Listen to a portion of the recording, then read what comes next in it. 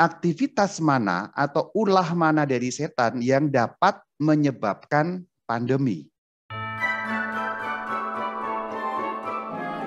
Kita mau bicara mengenai apakah pandemi merupakan ulah setan karena di luar sana ada banyak orang yang berspekulasi, berpendapat, beropini dan lain sebagainya yang sering juga menggembar-gemborkan ini semua ulah kejahatan, ini adalah kuasa gelap, ini adalah setan, pandemi ini adalah karya iblis dan sebagainya dan sebagainya.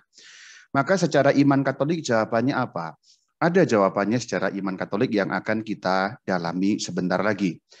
Hal yang pertama yang perlu kita dalami adalah mengenai keberadaan setan. Secara singkat, setan itu ada dan setan itu merupakan pribadi. Ayat-ayat Alkitab dengan sangat jelas menjelaskan bagaimana keberadaan setan. Saya beri beberapa contoh. Contoh dalam Markus 1 ayat 25 sampai 26 jelas dikatakan ada roh jahat yang diusir oleh Tuhan Yesus. Berarti memang setan itu ada. Contoh yang lain di dalam Markus 3 ayat 14 sampai 15 bahwa 12 orang yang dipilih sebagai para rasul diberi kuasa untuk mengusir setan. Ada banyak sekali ayat dalam Alkitab yang menjelaskan keberadaan setan itu sebagai pribadi. Kalau kita mendengarkan pengajaran gereja, yaitu di dalam Katekismus Gereja Katolik, disingkat KGK, pada artikel atau nomor 391 sangat jelas setan itu apa? Yaitu penggoda yang bertentangan dengan Allah. Itulah setan, penggoda yang bertentangan dengan Allah. Kemudian dikatakan mereka adalah malaikat yang jatuh, setan atau iblis. Oke, tema ini tidak akan saya bahas karena kalau Anda ingin tahu lebih jauh mengenai setan itu apa dan sebagainya, saya di dalam channel YouTube Katkit kata Katekesis sedikit sudah banyak membahas mengenai itu. Jadi Anda ingin tahu seperti apa, ketik saja Katkit Rama Bayu Setan, pasti muncul. Sudah, ini hanya menegaskan bahwa keberadaannya. Jadi kalau Anda ketik di YouTube itu Rama Bayu Setan tuh munculnya muka saya. Padahal sebenarnya katekesi saya yang terkait dengan setan itu lebih sedikit daripada yang terkait dengan lain. Oke, kita tinggalkan ini. Intinya setan itu ada menurut Alkitab dan ajaran gereja.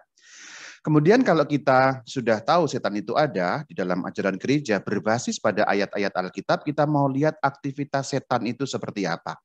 Gereja sangat jelas mengajarkan mengenai aktivitas setan, yaitu serangan setan atau ulah setan itu seperti apa. Kita bisa membacanya di dalam KGK 394. Bagaimana aktivitas setan itu, pengaruh yang mencelakakan. Jadi sesungguhnya apa pun yang setan kerjakan, serangannya apa pun, ulahnya apa pun, perbuatannya apa pun, akan hanya membuat pengaruh yang mencelakakan. Meskipun kadang yang dipakai cara-cara yang tidak mencelakakan. Sepertinya bagus, tapi itu hanya sepertinya. Contoh dalam tiga godaan yang diberikan kepada Sang Kristus, tiga-tiganya sepertinya bagus. Tidak ada yang tampak buruk, tapi sebenarnya ujung-ujungnya mencelakakan. Namun KGK 394 baru bicara mengenai hal yang umum. Tetapi apa rinciannya? Nah gereja katolik punya ilmu yang namanya demonologi dan ilmu yang namanya eksorsisme. Itu gereja katolik punya. Maka gereja katolik mengetahui ada serangan setan atau aktivitas setan atau ulah setan yang jenisnya ada lima. Ada tipe A, tipe B, tipe C, sampai tipe E. Namun dua golongan besar, yaitu yang pertama serangan atau aktivitas yang biasa. Yang kedua tidak biasa atau ekstraordinaria. Yang biasa itu godaan. Maksudnya biasa itu apa? Hampir semua orang mengalaminya atau semua orang mengalaminya. Sehari-hari kita mengalami godaan setan ini. Ketika timbul dalam hati kita pikiran untuk berbuat sesuatu yang melawan firman Tuhan, itu godaan setan. Jadi itulah godaan. Semua dari kita mengalaminya. Semacam kalau bahasa istilahnya bisikan yang terjadi di dalam hati atau jiwa kita. Itulah godaan setan. Jadi setan itu seperti membisikkan kata-kata tetapi kata-kata bukan harafiah, tapi itu sifatnya rohani dalam hati, dalam jiwa, supaya kita melawan kehendak Allah, apa pun itu. Kemudian yang jenis kedua yang tidak biasa, extraordinaria, ada empat. Yang pertama investasi, yang kedua veksasi, yang ketiga adalah obsesi, dan yang keempat itu posesi. Kemudian nanti kita akan bertanya, aktivitas mana atau ulah mana dari setan yang dapat menyebabkan pandemi. Apakah pandemi bisa disebabkan oleh godaan? Jawabannya tidak. Tidak mungkin godaan setan menyebabkan pandemi. Berarti godaan tidak bisa menyebabkan pandemi. Langsung kita coret kemungkinannya. Kita keluarkan dari kemungkinan serangan setan yang mampu menyebabkan pandemi. Kita langsung blacklist hitam itu ya. Sudah hitam di situ berarti sudah blacklist betul-betul ya. Yang kedua, investasi kita juga harus bertanya, apakah pandemi termasuk investasi atau kalau dibalik, apakah investasi setan mampu menyebabkan pandemi? Ya tidak. Rumah angker tidak mampu menyebabkan pandemi, maka kita coret. Jadi ini sudah kita keluarkan dari kemungkinan penyebab pandemi. Berarti coret investasi. Selanjutnya yang ketiga, tipe C veksasi. Pertanyaannya apakah pandemi termasuk veksasi? Nah kalau kita melihat yang nomor dua, yaitu merusak kesehatan, kayaknya memang bisa. Berarti apakah memang setan ini bisa menyebabkan pandemi karena menggunakan teknik veksasi ini, yaitu merusak kesehatan? Pertanyaannya kan itu. Berarti bisa ya Ramaya? Nanti dulu, begini. Serangan terhadap kesehatan yang disebabkan oleh setan itu sifatnya spiritual. Artinya kalau Anda itu terganggu kesehatannya, macam-macam misalnya sakit-sakit-sakit melulu, kalau dicek menggunakan ilmu medis tidak akan ketemu kalau penyebabnya adalah setan. Berarti rusaknya kesehatan yang disebabkan oleh setan bukan kesehatan yang dapat dinilai menggunakan ilmu medis.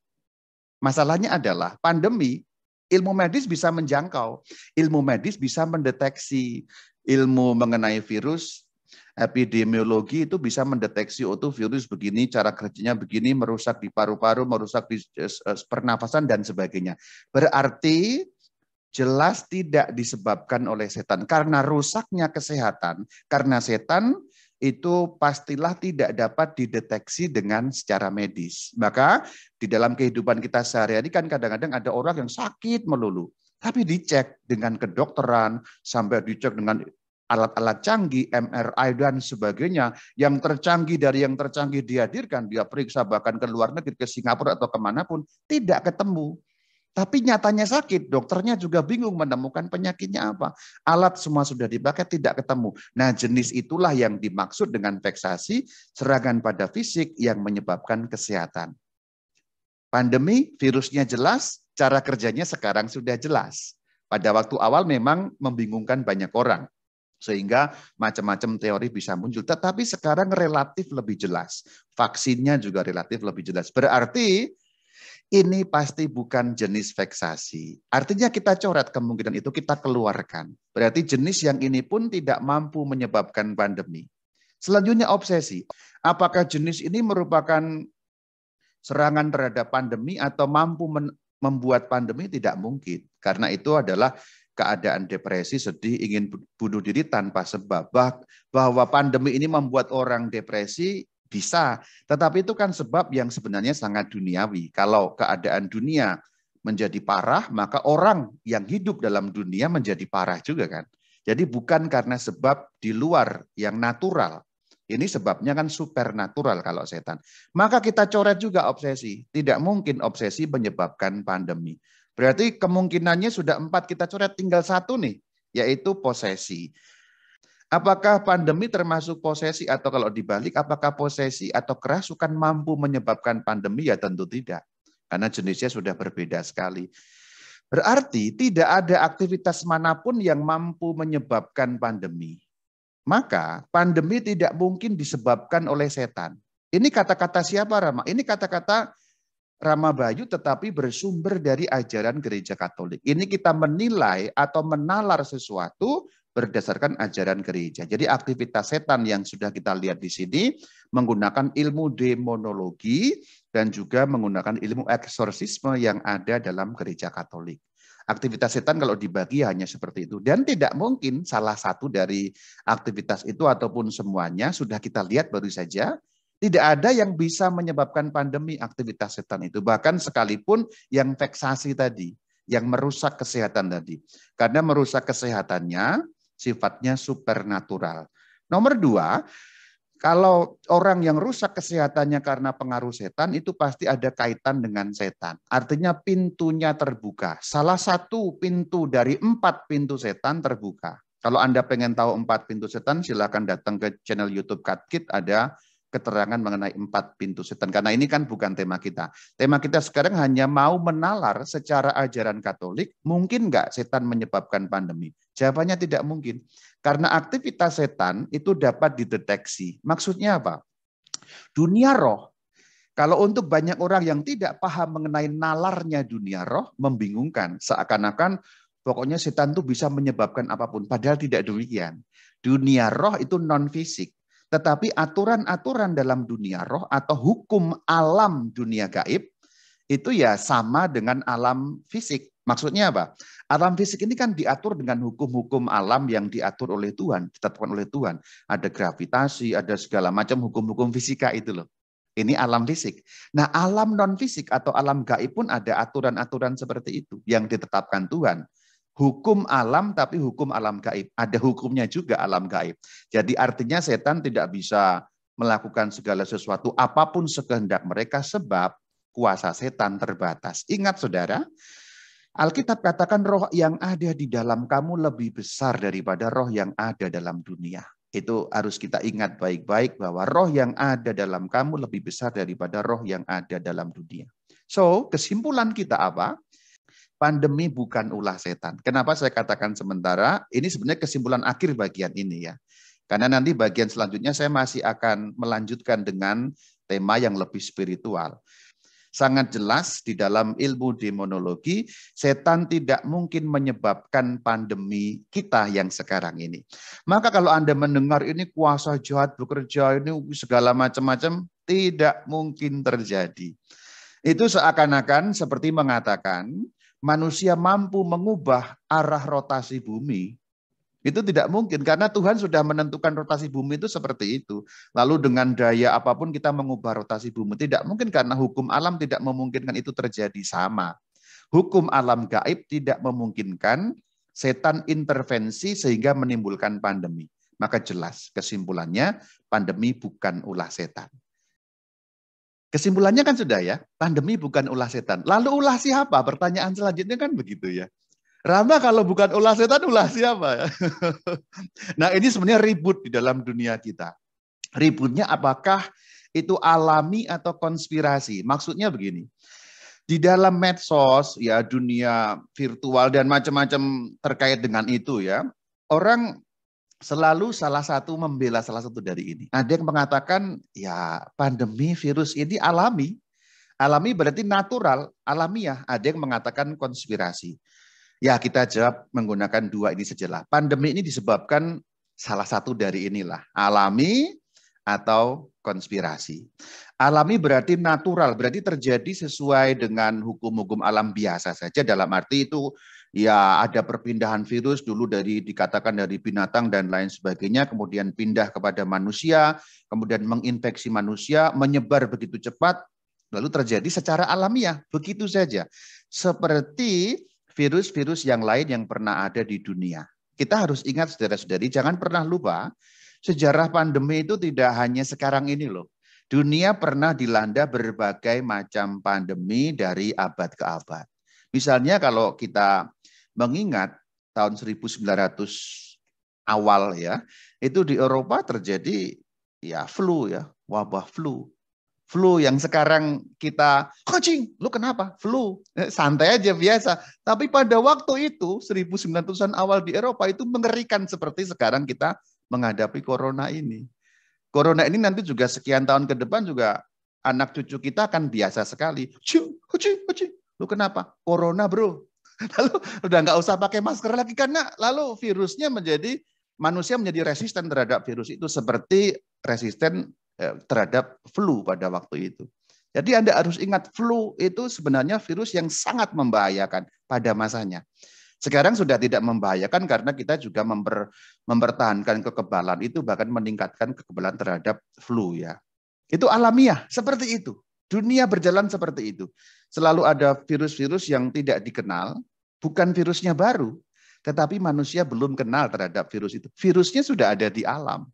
Sudah ada di alam, hanya kemudian suatu ketika entah bagaimana jalannya mengintervensi kehidupan manusia. Virus dianggap menjadi penyakit ketika mengintervensi kehidupan manusia kan. Gampangnya kemudian menjadi masuk ke dalam tubuh manusia lalu menginfeksi menimbulkan sakit penyakit. Ketika virus itu ada di alam bebas, dia di alam di misalnya di simpanse, di gorila atau di hewan-hewan lain tidak masuk kepada manusia dan tidak mengguncang dunia, ya virus itu kita tidak anggap penyakit, ketika masuk ke dalam manusia menimbulkan kerusakan dan menyebar, lalu kita menyatakannya ini penyakit, kan begitu. Sebenarnya nalarnya kan begitu, sangat alamiah, sangat natural. Itu alam yang bekerja seperti itu. Tetapi memang di kalangan orang banyak ada juga yang menganggap ini konspirasi. Wah kalau sudah bicara tentang konspirasi, macam-macam ya. Ini Cina yang menyerang. Wah, Cina tidak terima. Dia bilang, ini Amerika katanya. Pokoknya macam-macam lah. Konspirasi selalu menarik, tetapi ya begitulah, tidak pernah jelas. Rama berpendapat yang mana? Saya feeling-feeling ya itu alami saja. Kalaupun itu konspirasi ya sudah ya. Mau alami mau konspirasi untuk saya tidak terlalu penting. Karena pada yang penting adalah pada realitasnya. Yang mana pun itu kita tetap susah. Ngapain berdebat tentang itu alamiah atau konspirasi gitu. Mau virus itu alami, mau konspirasi, kagak ngaruh bro. Mau alami kita juga tetap susah. Mau konspirasi juga tetap susah. Saya sih lebih memandang pada hasil akhirnya sekarang ya. Mau itu sebab alam kita susah. Mau sebab itu karena mungkin ada perusahaan atau apa pun atau, atau lembaga atau apa pun yang berusaha menguasai dunia kita juga tetap susah. Hasilnya sama. Persis sama. Hasilnya apa? penderitaan. Ya, hasilnya memang penderitaan ya. Mau itu konspirasi, mau itu alami, hasilnya adalah penderitaan. Terus kalau itu konspirasi, kenapa? Memang kita sanggup mengubahnya. Seandainya betul saya katakan, ya tidak juga kan. Kalau itu alami lalu kita sanggup mengubahnya, ya tidak juga kan. Yang sanggup kita lakukan adalah menghadapinya. Dan sebagai orang beriman, kita menghadapinya dengan iman. Kalau sudah bicara mengenai penderitaan, maka kita masuk kepada tema salib, saudara-saudari. Karena di dalam iman Katolik, penderitaan itu dilambangkan dengan kata atau istilah salib. Untuk seorang Katolik, salib tidak hanya bermakna benda jasmani ya. Memang ada dua arti. Arti yang pertama arti jasmani ya salib ya berarti kayu palang, ada korpus Tuhan Yesus ya salib ya. Romo minta berkat salib ya itulah salib. Tetapi ada makna rohani yaitu salib adalah penderitaan. Namun sesungguhnya tidak semua penderitaan adalah salib. Kalau kita lihat Sabda Tuhan Yesus dalam Markus 8 ayat 34 sangat jelas. Setiap orang yang mau mengikut aku, ia harus menyangkal dirinya. Lalu apa? Memikul salibnya dan mengikut aku. Berarti syarat salah satunya menjadi pengikut Tuhan adalah memikul salib. Pertama menyangkal diri, tidak akan kita bahas. Yang kedua memikul salib yang artinya penderitaan. Yang ketiga mengikut berarti menjalankan apa yang Tuhan katakan. Kita akan fokus pada memikul salib berbasis pada ayat Markus 8 ayat 34. Ya, kita sudah tahu salib penderitaan atau kesulitan. Kalau kita melihat penderitaan atau kesulitan hidup kita, saudara-saudari, Sebabnya kalau di golong-golongan itu cuma tiga kok. Apa pun kesulitan kita yang kita alami di dunia ini, kalau digolong-golongkan sebagai orang beriman kita dapat melihat dalam tiga kategori. Yang pertama salah sendiri. Bangkrut karena salah sendiri. Ya salah sendiri sering ke Makau sih, ya makanya bangkrut loh. Ngapain ke Makau melulu gitu. Perusahaannya hancur, ke Makau melulu sih ya. Ya itu begitu ya. Nabrak.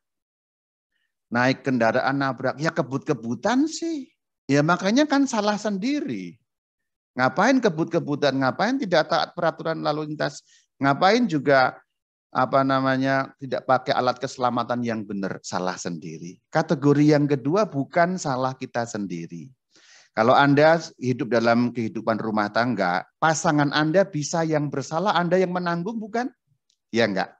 Nah itu bukan salah sendiri. Istri sudah setia, eh jangan istilah suami lah. Kan laki-laki dulu. Ini mentang-mentang ramah laki-laki terus ngomongin laki-laki ya. Ya suaminya itu baik, sudah sabar, cari duit dengan baik, memberikan waktu. Istrinya itu ngomel melulu. Sudah ngomel melulu, belanja melulu. Dan belanjanya itu bukan yang kebutuhan, tapi yang keinginan. Saking beli ini dan itu nggak terkontrol, ya lama-lama ya hancur juga kehidupan finansialnya. Suami tidak salah di sini, Bu-ibu. Ibu yang salah ya sudah nggak cari duit ngabisinya pinter gitu. nah ini bukan salah sendiri untuk si suami tapi saya bisa balik juga ya istri ini sudah hidup dengan baik mendidik anak-anak dengan baik dia karir bagus di kantor tapi dia rela keluar dari kantor yang karirnya sangat bagus itu untuk menemani anak memberi waktu kepada anak eh si suami ini lihat sekretaris yang agak kinclong dikit belok dia mukanya Nah itu berarti kan bukan salah sendiri. Si istri tidak bersalah, tapi dia harus menanggung penderitaan kesulitan. Ini yang dimaksud bukan salah sendiri. Dan itu kehidupan kita, ya itu umum terjadi begitu. Memang begitulah dunia. Kenapa kok bisa begitu Rama? Karena dunia masih dikuasai oleh kuasa dosa. Jadi kita yang bahkan tanpa melakukan salah pun bisa bahasa simpelnya ditabrak ya kalau saya gambarkan kita sudah bisa tertib lalu lintas, pakai alat keselamatan dengan baik, di jalan kita sudah tertib, orang lain ugal-ugalan ditabrak. Itu dunia dikuasai dosa itu seperti itu. Yang ketiga karena kita menjadi pengikut Kristus. Bisa ada banyak contoh di dunia ini kita menjadi pengikut Kristus menjadi sulit. Ya, sebenarnya yang disebut salib itu yang kategori kedua dan ketiga bukan salah sendiri dan jadi pengikut Kristus itulah salib sebenarnya saudara-saudari. Jadi kalau Anda mengalami penderitaan bukan karena salah sendiri atau karena menjadi pengikut Kristus itulah salib. Jadi jangan katakan, Romo saya bangkrut Romo. Memangnya Bapak kemarin bagaimana? Ya saya foya-foya terus Romo. Inilah salib saya. Salibnya Bapak. itu kamu. Bedegong dalam bahasa Sunda. Kalau anda yang tahu bahasa Sunda pasti itu ya bedegong itu kalau kamu sering kebut-kebutan nggak pakai helm nggak taat lalu lintas tabrakan patah tulang. Ini salib saya rombong. Hmm, lu. Itu bukan salib itu itu kebodohan kita ya namun jenis yang itu pun dapat menjadi salib maksudnya adalah Kesulitan yang karena kesalahan kita sendiri pun bisa menjadi salib ketika kita mempersatukannya dengan salib Kristus. Contoh tadi yang simpel tadi itu ya. Seorang bapak ya bermain serong, boros-borosan, suka berjudi sehingga finansial hancur, rumah terjual segala macam termasuk perusahaannya bangkrut. Itu salah sendiri. Namun dalam satu titik dia kemudian menyadari aduh ini salah, Tuhan aku telah berlaku salah. Tuhan aku mohon pengampunan, aku mau memulai hidup baru, dan apa yang ku derita sebagai penderitaan dan kesulitan ini ku persatukan dengan salibmu, aku mau tanggung demi pemurnian jiwaku. Ketika sampai pada tahap itu sebenarnya salah sendiri itu pun bisa menjadi salib juga. Maka jenisnya salib memang hanya dua, bukan salah sendiri dan karena pengikut Kristus. Tetapi kalaupun Anda sekarang mengalami atau pernah mengalami atau suatu saat nanti mengalami apa pun kesulitan penderitaan yang karena sebab salah Anda sendiri, ketika Anda menyadari dan ingin berubah sehingga Anda persatukan itu dengan penderitaan Kristus, maka itu juga dapat menjadi salib. Lalu katakan pada Tuhan, Tuhan oke okay, baik, aku mau panggul ini sebagai salibku itu meskipun salah sendiri juga dapat menjadi salib bagi Anda. Jadi ini antisipasi kalau suatu kali nanti mengalami hal seperti itu. Kita semua tidak menginginkan hal yang buruk terjadi bukan? Tetapi hal yang buruk kadang-kadang menimpa kita begitu saja. Ah itu dia. Lalu kalau kita lihat saudara-saudari, yang jenis manakah pandemi itu? Pandemi itu yang bukan salah kita sendiri, jenis yang itu. Berarti pandemi ketika kita menderita karena pandemi itu jelas salib bagi kita. Karena kita tidak bersalah di dalam persoalan pandemi ini. Itu menimpa kita begitu saja. Itu menimpa kehidupan kita begitu saja. Itu menghancurkan penghasilan kita. Itu menghancurkan nafkah kita. Itu menghancurkan kehidupan kita dan lain sebagainya. Jadi tidak ada dari kita yang bersalah dalam persoalan pandemi ini. Maka jelas pandemi dapat kita hayati sebagai salib. Maka ketika tadi kita sudah mulai dari depan melihat bagaimana prosesnya dari setan dan sebagainya ternyata bukan ulah setan. Ini ya dunia berjalan demikian lalu menimpa kita, maka kita perlu menghayatinya sebagai salib. Sehingga perkataan Tuhan berlaku. Siapa mau ikut aku menyangkal diri apa? Memanggul salib. Oke Tuhan, aku pengikutmu. Dan sekarang dunia sedang ada seperti ini, ini salib yang harus aku panggul. Maka kita sampai pada tema bagaimana sikap beriman di dalam salib. Karena sudah jelas pandemi adalah salib kita semua. Dan itu kita salibnya kita tanggung bersama-sama. Hampir semua orang, memang satu dua orang justru mendapat keuntungan dari pandemi. Tapi itu bukan keadaan banyak orang. Kebanyakan orang, sebagian besar justru mengalami kesulitan dari itu.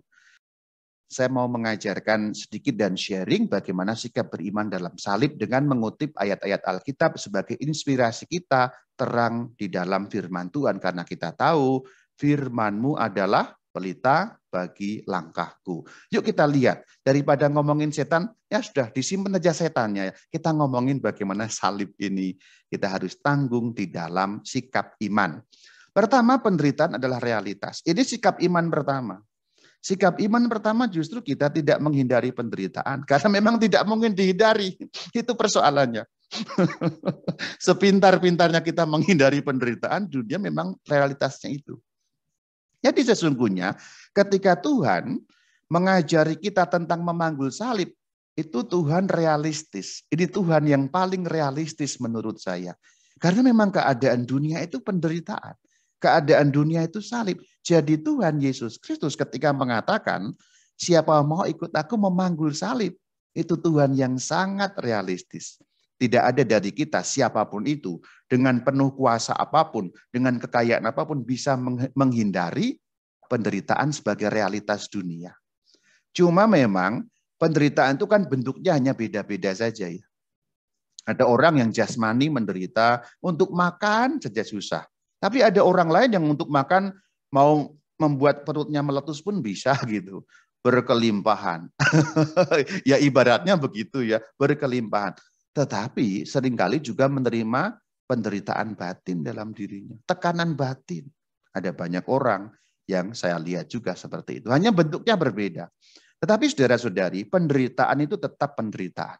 Tidak jasmani, tidak rohani, sama rasanya. Anda menderita secara jasmani dan rohani, ujung-ujungnya rasanya sama sebagai sebuah realitas. Dan kita diingatkan dalam kisah para rasul 14:22 untuk masuk ke dalam kerajaan Allah, kita harus mengalami banyak sengsara. Itulah salib. Itulah realitas. Maka langkah pertama orang beriman menerima penderitaan sebagai sebuah realitas. Apalagi ketika kita sedang ditimpa penderitaan itu mengakuinya, iya ini memang kenyataan dan aku akan hadapi. Sikap iman pertama ini penting sekali. Karena banyak orang mengelak dari penderitaan yang tidak bisa. Maka dia stresnya bukan karena penderitaan itu, tapi karena mau mengelak dari penderitaan yang sebenarnya dia tidak mungkin lepas dari itu. Tidak bisa terima keadaan yang sedang dideritanya itu. Menerimanya sebagai realitas bagian penting dari cara beriman kita. Ya, oke, okay. ini sudah aku usahakan memang tidak bisa mentok di sini. Oke, okay, aku terima sebagai kenyataan dalam hidupku. Aku hadapi. Oke, okay, Tuhan, mohon kekuatan untuk kuhadapi. Nomor satu memang harus seperti itu. Lalu yang nomor dua, saudara-saudari, penderitaan itu ada ujungnya kok. Ada ujungnya. Badai pasti berlalu. Rasul Petrus mengingatkan kita dalam 1 Petrus 1 ayat 11 dikatakan penderitaan yang akan menimpa Kristus dan tentang segala kemuliaan yang menyusul. Kita tahu di dalam iman Katolik tidak pernah salib berhenti pada salib saja. Salib selalu dilanjutkan dengan dengan apa Saudara? Salib selalu dilanjutkan dengan kebangkitan Saudara. Dalam iman kita salib tidak pernah berhenti pada salib, tapi kemuliaan yang akan menyusulnya. Kita juga diingatkan dalam surat Roma 8 ayat 18.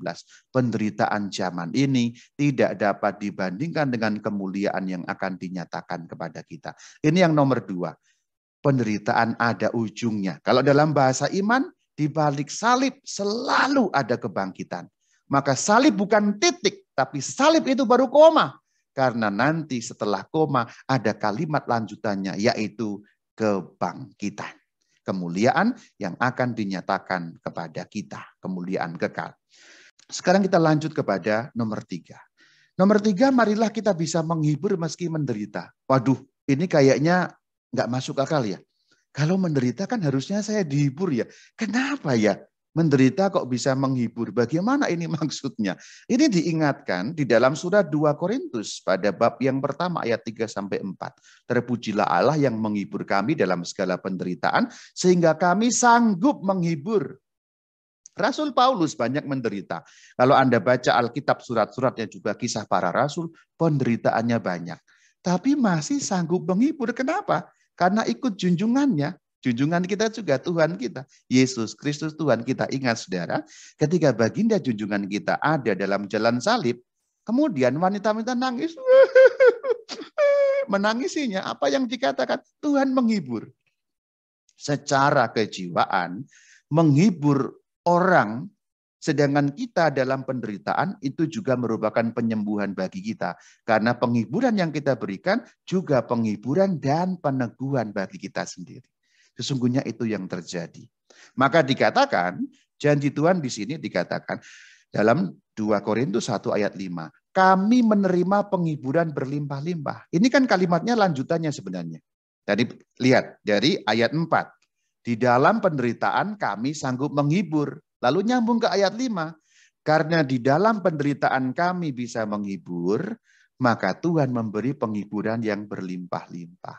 Karena dengan memberi, Tuhan memberi lagi sebagai ganti yang telah kita beri. Dengan memberi tidak akan habis. Karena penghiburan, yaitu berkat rohani, Tuhan sediakan berlimpah-limpah. Janji Tuhan jelas 2 Korintus 1 ayat 5. Maka di tengah penderitaan, baiklah kita juga bisa menghibur orang lain yang sama-sama menderita atau lebih menderita dari daripada kita atau mungkin yang lebih enteng penderitaannya seperti Kristus di tengah jalan salib justru mampu menghibur. Yang nomor empat, tetap bisa memuji Tuhan meski menderita. Ini langkah iman yang sulit apa tidak? Ya sulit. Tetapi kita mau bercontoh pada tokoh Ayub. Kita lihat bagaimana Ayub. Ayub 1.21. Ini diucapkan Ayub ketika semua sudah habis-habisan. Saya yakin kok yang mendengarkan ini meskipun pernah mengalami penderitaan atau nanti mungkin akan mengalami penderitaan, kayaknya kok tidak akan se ekstrim Ayub. Penderitaan yang diceritakan dalam Alkitab kalau boleh dikatakan Ayub ini ekstrim banget loh penderitaannya. Anaknya semua mati, hartanya habis, istrinya pergi. Jangan lupa. Begitu hartanya habis, istrinya pergi. Terakhir apa? Badannya hancur. Anda berani mengklaim saya lebih sulit daripada Ayub, Romo. Kayaknya kok enggak ada. Ya bangkrut habis-habisan, anaknya mati semua, istrinya minggat, udah gitu dia kena penyakit kulit, lepra, bisul itu. Aduh, aduh, mati aja deh gue katanya kalau sekarang begitu kurang lebih. Tapi Ayub tidak. Ayub bisa katakan Tuhan yang memberi, Tuhan yang mengambil, terpujilah nama Tuhan. Kenapa sih dalam penderitaan Ayub bisa memuji Tuhan? Karena itu merupakan pengakuan Tuhan sanggup membereskan ini semua. Dengan masih sanggup memuji Tuhan, itu berarti masih ada keyakinan Tuhanku lebih besar daripada salib ini. Tuhanku lebih besar daripada penderitaan ini. Maka masih bisa mengatakan Tuhan yang memberi, Tuhan yang mengambil, terpujilah nama Tuhan. Ayat ini saudara, ungkapan ketika orang ditinggal mati orang yang dicintai. Tuhan yang memberi, Tuhan yang mengambil, terpujilah nama Tuhan. Maka ayat ini bisa menjadi ayat emas bagimu, menjadi rema bagimu ketika engkau ditimpa penderitaan. Mungkin engkau ditimpa penderitaan karena ditinggal oleh pasangan hidup, engkau sedih sekali. Ayat ini bisa menjadi obat bagimu dengan mengucapkan berulang-ulang dan lebih sering kau ucapkan sebagai rema yaitu Tuhan yang memberi, Tuhan yang mengambil, terpujilah nama Tuhan. Saya selalu mengajarkan hal ini ketika mengadakan misa requiem atau ibadat pemberkatan jenazah, lalu mengatakan kepada keluarga yang sedih, ayo diulang dan katakan Tuhan memberi, Tuhan mengambil, terpujilah nama Tuhan. Tidak hanya ditinggal mati ya, penderitaan apa pun yang Anda alami, ayat ini dapat menjadi rema yang meneguhkan bagi kita. Tuhan memberi, Tuhan mengambil, terpujilah nama Tuhan. Dan dikatakan Ayub tidak berbuat dosa dengan itu. Kalimat lanjutannya. Nomor lima, bagaimana sikap kita dalam penderitaan? Jangan cari Allah lain meskipun menderita. Karena orang bisa jatuh ke dalam pencobaan seperti ini. Aku sudah ikut Yesus ini. Kenapa aku masih menderita? Kalau begitu aku ikut Allah lain yang dapat memberi aku kebahagiaan. Karena ternyata Tuhan yang ini tidak sanggup memberi aku kebahagiaan.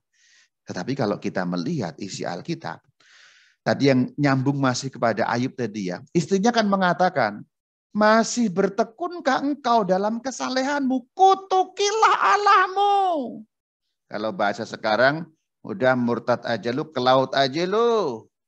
Ini istrinya yang ngomong, lihat ayat ayatnya ya. Ayub 2 ayat 9. Berkatalah istrinya, istri Ayub kepadanya, kepada Ayub, masih bertekunkah engkau dalam kesalehanmu? Kutukinlah Allahmu dan modarlah, katanya. Matilah. Maksudnya apa? Ngapain nyembah Allah itu? Ngapain nyembah Yesus? Udah jelas-jelas dia tidak sanggup mengeluarkan kamu dari penderitaan. Ganti saja Allah yang lain. Saudara, perkataan Rasul Petrus perlu menjadi rema bagi kita. Tuhan, sabdamu adalah sabda kehidupan yang kekal. Kepada siapa kami akan pergi? Pertanyaan besarnya sebelum kau meninggalkan Yesus adalah, kalau kamu tinggalkan Yesus, apakah kamu punya ganti Allah yang lebih baik daripada Yesus? Itu pertanyaan besarnya kan. Kalau kamu meninggalkan Yesus, apa kamu punya sandaran yang lebih baik daripada beliau? Maka dikatakan dalam ayat yang ke-10 masih pada Ayub bab 2, kalau kita terima yang baik dari Allah, kenapa tidak mau terima yang buruk dari Allah? Selanjutnya sikap dalam penderitaan, berdoa dua lapis. Ini bagian penting karena kita mau mencontoh Sang Kristus.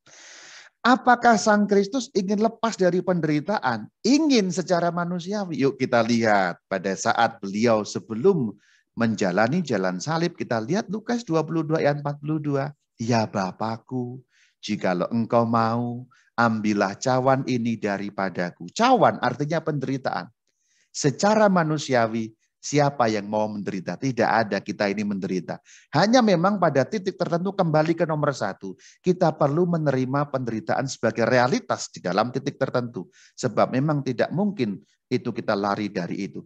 Jika masih mungkin, ya oke. Tuhan memberi anugerah itu. Maka permohonannya Tuhan kepada Sang Bapa adalah ambillah cawan ini. Cawan maksudnya penderitaan yaitu salib.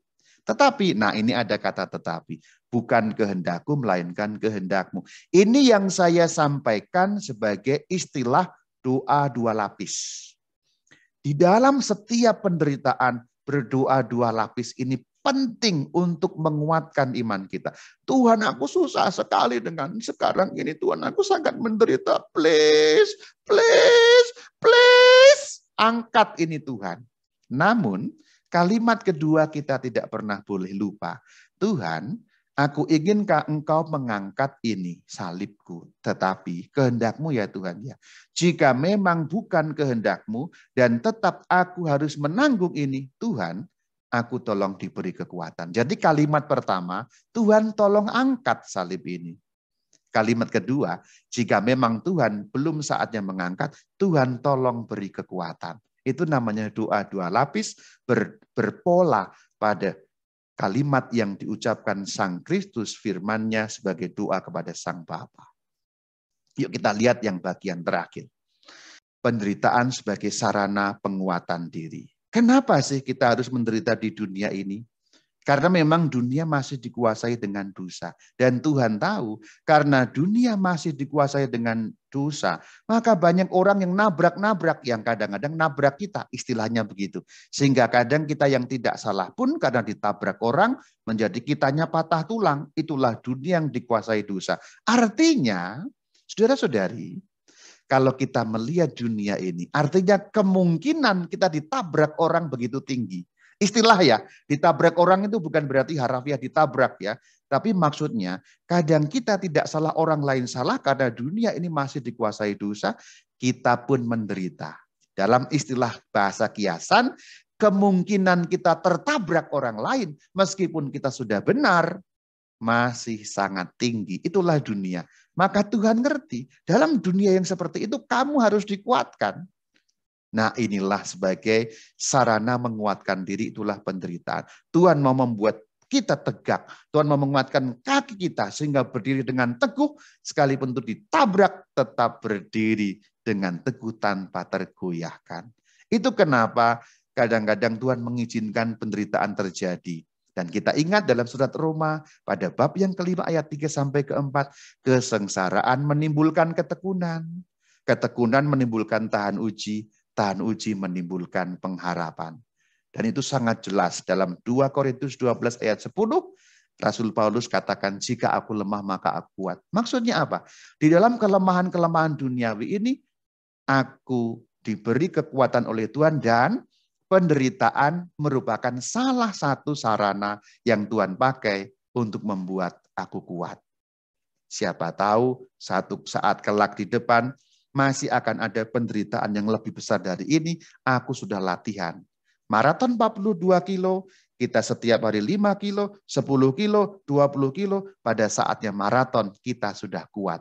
Kalau kita sehari hanya setengah kilo, saatnya maraton, tepar kita, tewas kita. Nah itu ya itu yang dimaksudkan Tuhan jika aku lemah maka aku kuat sebagai sarana penguatan diri kita. Semoga refleksi-refleksi yang saya sampaikan dapat menjadi kegunaan bagi kita di tengah masa sulit ini. Kita tadi dari tema awal apakah ulah setan atau tidak, tapi saya kembangkan supaya ada menjadi kekayaan batin bagi kita. Tidak hanya soal setan. Kalau hanya soal setan, ya itu sudah banyak nanti Anda klik saja ke channel Katkit. Semoga pewartaan iman hari ini menguatkan kita, karena kita ingat kesengsaraan menimbulkan ketekunan. Ketekunan menimbulkan tahan uji dan tahan uji menimbulkan pengharapan. Dan kalau aku lemah, aku kuat karena Tuhan yang memberi kekuatan. Shalom alaikum.